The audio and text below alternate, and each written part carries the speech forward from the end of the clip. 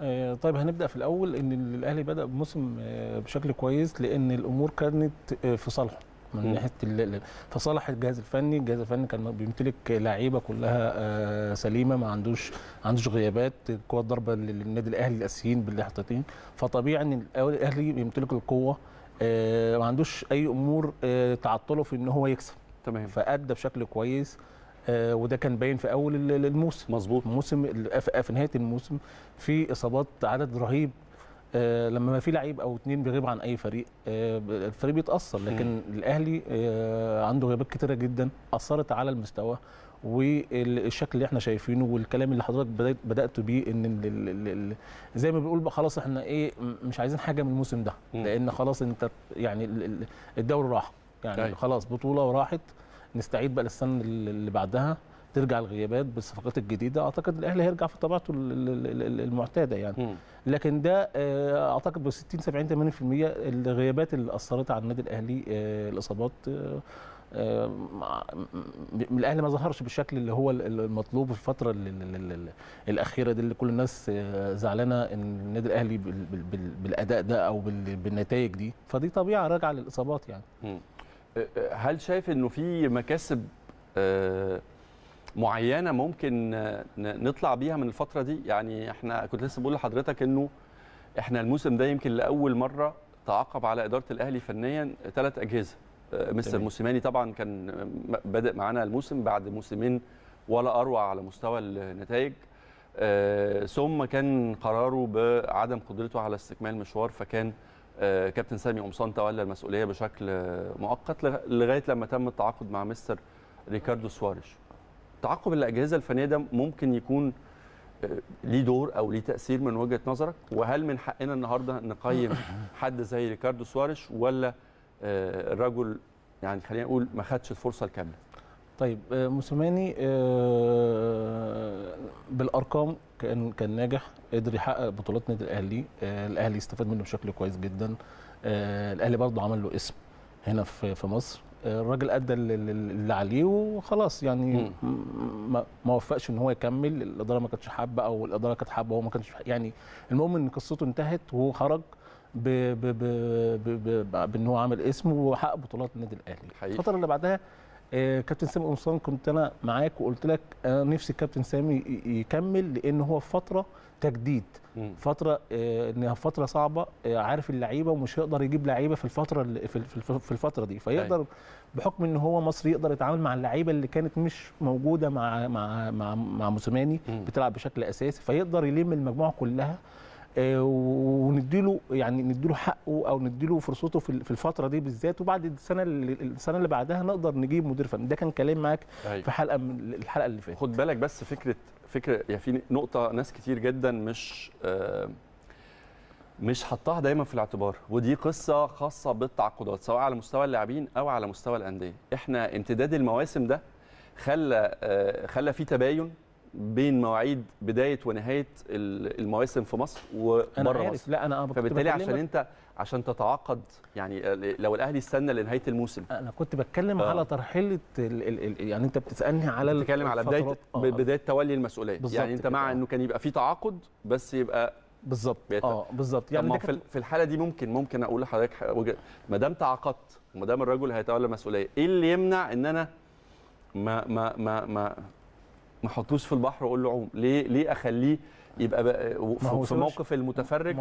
في حين إن أنا عندي فرصة إنه أبتدي أحضر من بدري للموسم اللي جاي. تمام أنا معاك. لكن المدرب الحالي برضو عشان نقدر نقيمه مش يعني مش عارفين نقيمه. آه. ليه؟ لأنه اتحط في برضه في حتة إنه عنده غيبات كبيرة جدا آه، بت يعني بت- بتعطل أي فريق. يعني أيوة. لو قلت لك بغير لعيب أو اتنين بت- بتأثر عليه. لكن بالك قوام النادي الأهلي آه، كله مصاب نص الفرقة نص الفرقة. إصابة وده, ده أو- وده يعني وده مخلينا مش عارفين نقيم المدرب الجديد هل المدرب الجديد ده اللي هو موجود معانا الفترة دي. مم. هيكمل السنة الجاية بالصفقات الجديده اللي هتيجي ولا آه، إحنا باين بشكل إن هو يعني آه، الأداء مش عاجبنا فالجمهور بيطالب. هل بيطالب بمدرب جديد أو المدرب الحالي ده يفضل موجود لحد السنة الجاية ونجيب له لعيبة أو نحط صفقات جديدة صفقات. مع اللعيبة ال- ال- ال- القوام الأساسي فنقدر نقيم المدير الفني.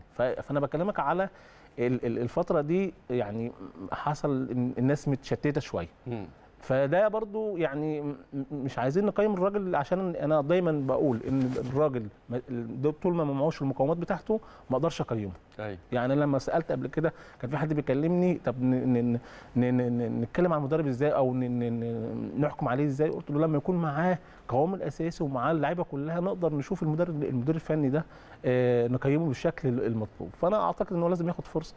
لبدايه الموسم في, في. حاجات كونت فيها رأي أو حكم على سواريش يعني لو قلت لك سواريش دفاعيا أخباره إيه؟ سواريش هجوميا أخباره إيه؟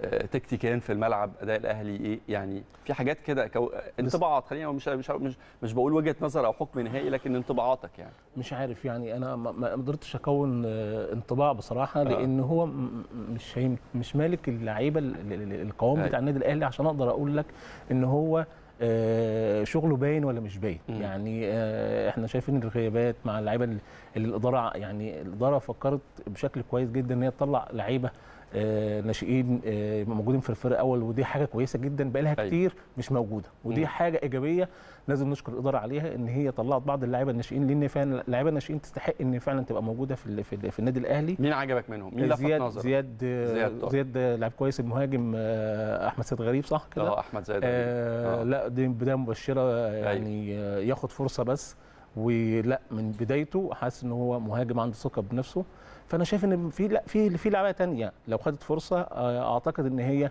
آه تبقى من قوام النادي الأهلي مع الناس الاساسيه عشان مش عن برضه عشان ما نضحيش بيهم في. الظروف دي أوراق تراهن عليها الموسم اللي جاي ولا شايف إنها محتاجة تاخد خبرة وتطلع مثلا على سبيل الإعارات موسم أو اتنين بحيث إنه يبقى ورقة تستفيد منها النادي الأهلي في المستقبل. الأسماء اللي أنت بتتكلم عليها أو غيرها يعني. والله يا كابتن آه إحنا لازم نعتمد دلوقتي ما نقولش لعيب صغير. أيوه اللعيب الصغير دلوقتي لا هو لعيب ممكن يبقى مش صغير سنا بس مم.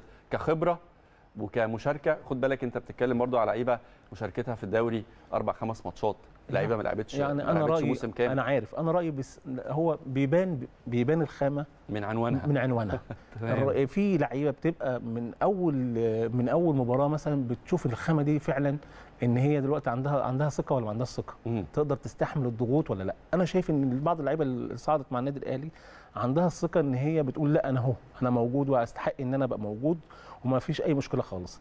لكن عايزين برضو ن... ن... يبقى اللعب يكون مع الفرقه الاساسيه عشان برضو ما يتهوش ما يحسوش إن في مسؤولية هم لسه صاعدين.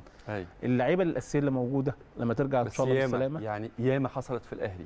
ياما في لعيبة في الأهلي طلعت وفي سن أصغر من الشباب اللي طالع ده ومن من دي 1 وسط وسط أسماء كبيرة جدا كانوا من أهم وأبرز الاسماء في الفريق ما أنا بتكلم أهو يعني آه. أنا برضه أنا أنا ده أنا وجهة نظري أيوة. يعني في الأهلي- الأهلي ما أصل برضه انت الأهلي برضه بيتحكم بقايمة وبيضطر إن هو يطلع لعيبة أعراض عشان يقدر يستفاد بيهم بعد كده يعني لكن أنا شايف إن اللعيبة اللي طالعة آه، لا النادي الأهلي يعتمد عليها. وده رأي يعني الجهاز الفني طبعا لكن أنا شايف اللعيبة اللي كلها اللي موجودة في النادي الأهلي آه، مع القوام الأساسي لا هيبقى في آه، انسجام و- و- ويأدوا بشكل كويس يعني